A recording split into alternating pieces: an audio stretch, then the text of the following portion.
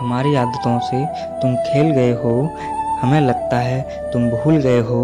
हाँ आज किसी और की यादों में सो जाओगे तुम, देखना बड़ा पछताओगे तुम।